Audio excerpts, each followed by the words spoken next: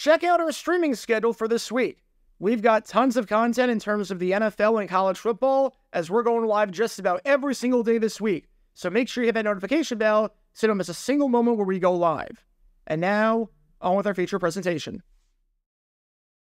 I want to give you a hypothetical example of something that might take you back to your days at school. So, apologies in advance if school brings back traumatic memories or if you hate it and are still a student. However, I want you to imagine that you are taking a test, and the test is a math test.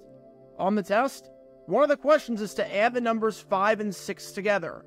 So naturally, you put down 11, since 5 plus 6 equals 11. However, your teacher marks the answer wrong, saying that the answer wasn't 11, and instead was 16. Obviously, this is wrong, so you ask your teacher afterwards why your answer was marked wrong, and upon further review, your teacher says that they made a mistake. Turns out, the teacher was wrong, and you were right, and the right answer was 11, not 16. Despite this, however, your teacher decides that they are not going to change the answer. Even though your teacher agrees that they messed up and that you got the right answer and should have been given credit, and even though your teacher has a chance to change the grades, since the grades haven't even been put into the computer system yet, they refuse to do it for some inexplicable reason. You'd feel pretty ticked off, right? You'd be angry, and rightfully so, that you got the right answer, and your teacher is refusing to give you a better score as a result and give you what you deserve, especially when they have the power to do so. Something like that would make you feel mad. However, something that wouldn't make me mad is if you hit that like button down below subscribe, and turn on the notification bell so you don't miss a single video that we post on the channel. We post every single day on here about the weird and the wacky history of the NFL. So if you like that sort of stuff, then this is the place for you. So thanks in advance for your support as we try and hit 70,000 subscribers. Well, I bring that up because we have an absolutely insane controversy for you today that you probably never heard of, but highlighted the absolute incompetence of the original instant replay system for the NFL. Today, instant replay is a vital part of the sport, and there aren't a whole lot of issues with it. But back in the late 80s when it was introduced, no one liked it. Instant replay was absolutely terrible. It took way too long, and half the time, they got the call wrong anyways and screwed it up. You can learn more about one of those disasters, where the referees got the call blatantly wrong after instant replay because someone misspoke during a 1986 game between the Kansas City Chiefs and Los Angeles Raiders, by clicking the card in the upper right corner. It's actually kind of a miracle that Instant Replay lasted as long as it did during its first iteration, because it was on the chopping block every single year during the owners' meetings. And every single year, it seemed as though this would be the year that Instant Replay finally died, because it just wasn't working. And what we have today is another one of those problems that deserves a deep dive today, especially since the Minnesota Vikings and Los Angeles Rams played each other earlier this week if you're watching as of this video getting released. Because during week two of the 1987 NFL season, during this game that you've been watching this whole time, there was a highly controversial call in the Rams Vikings game that went to instant replay and had the power to be overturned. And it wasn't, even though the replay official literally said that the call on the field was wrong. And this is the story behind one of the craziest instant replay controversies in the history of the NFL. Before I talk about the actual controversy in question and just how insane it was, we need some context to understand the importance of this game, as well as how the game itself was going up until this point. It's September 20th, 1987. It's week two of the NFL season, and we head to Anaheim for this NFC battle between the Los Angeles Rams and the Minnesota Vikings. No one quite knows what the future of the league holds after this, as the player is going to go on strike after this game, with the NFL and the NFLPA no closer to an agreement than they were before. So for the Rams, this game felt like a must win, especially after losing in week one to the Houston Oilers. No one knew how the season would be impacted by this, how short it was going to be, or how many games were going to be played by the replacement players, which would be a complete crapshoot. You needed to win this game and get back to 500 before the strike. Starting 0 2 back then was already bad, but starting 0 2 in 1987, with the future as uncertain as it was, that's really bad. And so far, this game was starting off, you guessed it, really badly for the Rams. This was the last thing that the Rams could afford to have happen, as near the end of the second quarter, they found themselves trailing 14 0. A first quarter touchdown pass from Wade Wilson to Carl Hilton gave the Vikings the early 7 0 lead, and they doubled their lead when Wilson threw his second touchdown pass of the game, with this one going to Anthony Carter. At this point, things were looking incredibly bleak for the Rams. It was going to be tough to come back from down two possessions, especially with the way the offense had been playing. However, if they got some good field position on something like, I don't know, a special teams miscue, then maybe, just maybe, the Rams could claw their way back into the contest, get some points before the half, and give themselves a chance at scoring some points. And sure enough, that's exactly what happened.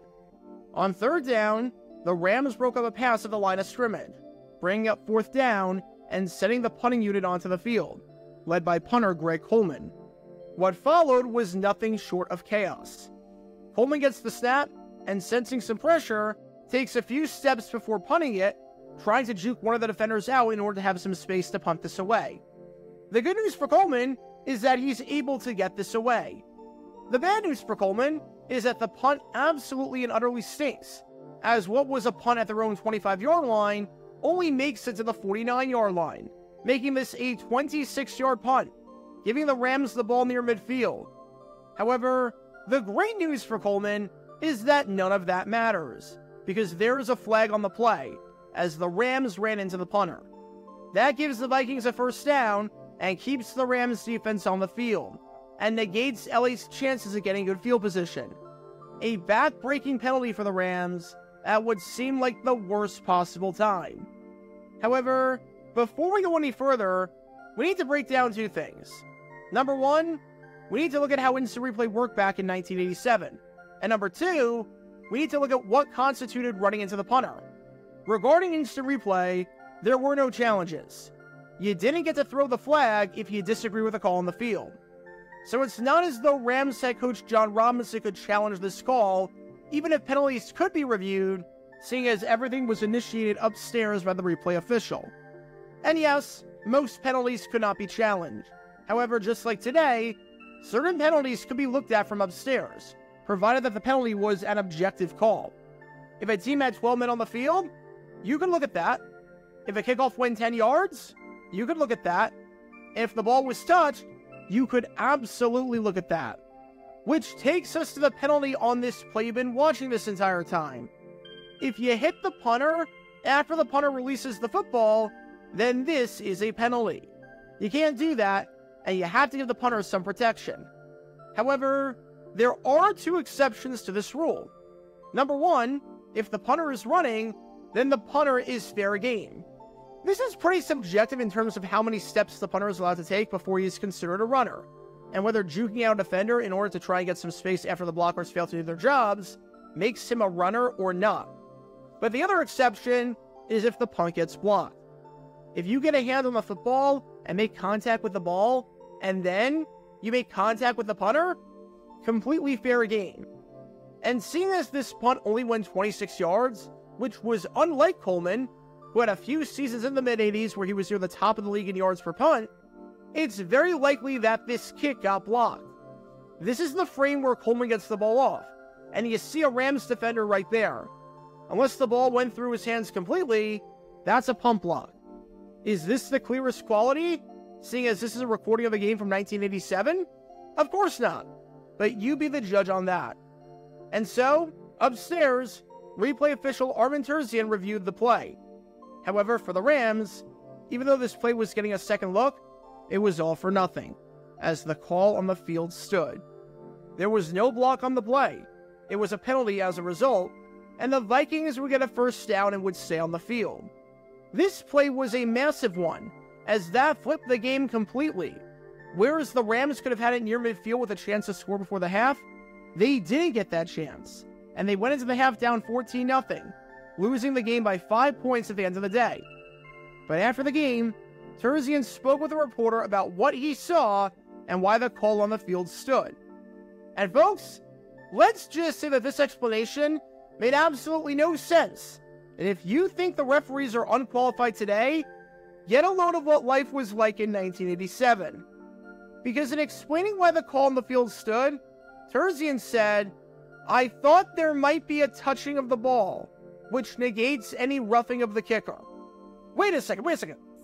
Time out. So, in your eyes, you thought that the ball was touched. You said that the ball was touched. And you said point blank that if the ball was touched, that it means that roughing the kicker doesn't apply. And yet, despite saying that, and despite reviewing the play for that specific purpose, you chose to leave the call on the field as it stood? It's one thing to say that the call was wrong, but there was no recourse to overturn it. It's another thing entirely to review the play, admit that the call was wrong, and do absolutely positively nothing about it when you have the power to do so. How does this make any sense at all? Seriously, how does this make any sense? It's like the It's Not My Wallet scene from SpongeBob. You're allowed to review the play. You reviewed the play. You admitted that the call was wrong. And you had the power to overturn the call. And you get chose not to because, uh, reasons? It doesn't make any sense to me. It's like if, in soccer, you have VAR to check whether the ball crossed the goal line. You review the play and see that the ball crossed the line fully, and yet you say that there was no goal. How can you be this stupid or corrupt or whatever you want to call it? And if that name, Armen Terzian, sounds familiar, and you feel as though you've heard that name somewhere before, that's because he was involved in another huge replay controversy a year later during a Week 3 game in 1988 between the New York Giants and the Dallas Cowboys. And that one literally ended his career. You can learn more about that by clicking the card in the upper right corner. Terzian refused to review a play that was incorrectly ruled a safety, and it turned out to be a big play, seeing as the Giants won the game 12 10, as in, by two points, or the margin of the safety.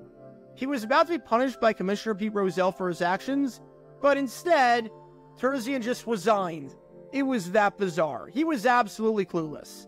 That Cowboys game exemplified that, and man, did this Vikings Rams game exemplify that as well. Seeing as he refused to change the call on the field, even though he point blank said that the call on the field was wrong. As for what happened after the game between these two teams behind me right here, again, the Rams ended up losing this one by five points. I'm not saying that the blown call here by the replay official was the main reason they lost the game. Far from it. But it definitely didn't help their cause. I know that much. Now, this play has somewhat been forgotten throughout NFL history all these years later, because even just two days after this, the players went on strike. So it was really tough to think about anything NFL and any games on the field when there weren't any games taking place and when the league was, for all intents and purposes, out of business. However, the Rams could not recover from this loss whatsoever, as they started the season with an abysmal 1 7 record, and they ended up missing the postseason. That 0 2 start definitely did not help them whatsoever. Instant replay was really bizarre back in 1987, and fortunately for the NFL at least, there was never another controversial call in a Vikings Rams game ever again. Never happened. I can promise you that has never ever happened since. Oh, you've got to be kidding me. I think it's fair to say that nothing about this made any sense whatsoever. If the referee literally says that the call is wrong, and the referee has the power to change it, then the referee should, you know, change the call. What's the point of having instant replay if you're not going to use it? What's the point of having a Ferrari if you're just going to drive around the neighborhood at 10 miles per hour? What's the point of having a system like this where you can literally change the call on the field and you choose not to because either you don't know the rules whatsoever or because you're too arrogant and stubborn to do so? Whatever the case, in 1987, after further review, the ruling on the field is that this system and this official absolutely stunk. Be sure to like and subscribe if you have not done so already, as it helps the channel out a lot. And check out my other channels JG8 for the history of college football, JG7 for the history of baseball, and JG9 News, where we talk about all things happening in the NFL. Join me every Wednesday night at 8 p.m. Eastern, where we'll play live NFL trivia for cash prizes. And make sure to join me live as we're on stream just about every single day. And thanks to all our Patreon members and our YouTube members for helping out the channel. See how you become a member and show your support financially in the description down below.